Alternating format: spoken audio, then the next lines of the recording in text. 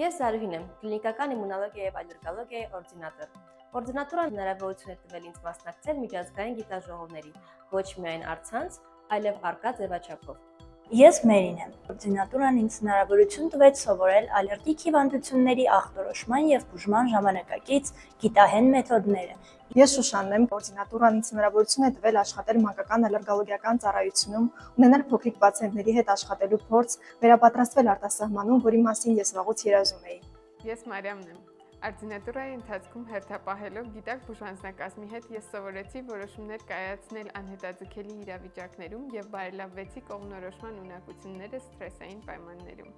Ես Աննան եմ, հնարավորություն ստացա սովորելու ալերգիկ հիվանդությունների ախտորոշման եւ բուժման գործնական հմտություններ։ Ես Անգելինան եմ, եկել եմ արտասահմանից։ Ընդունվելով կոորդինատորայի, ես ունեի բազմաթիվ մտավախություններ, սակայն սովորելով մի տարի ես հասկացել եմ, որ կայացրել եմ ճիշտ որոշում։ Մեր կրթական ծրագիրը համապատասխանում է միջազգային ստանդարտներին, ամբողջը հիմնված է ապացուցողական բժշկության վրա։ Մենք կազմակերպում ենք գիտաժողով, մասնակցում ենք տարբեր կլինիկական փորձարկումների։ Մեր օրդինատորներ ունեն հնարավորություն անցնել իրենց օրդինատուրայի որոշ հատվածներ մի շարք արտասահմանյան երկրներում։ Եթե դուք հետաքրքրված եք ժամանակակից գիտությամբ եւ բժշկությամբ, կլինիկական իմունոլոգիայի եւ ալերգոլոգիայի ամբիոնը հենց ձեզ համար է։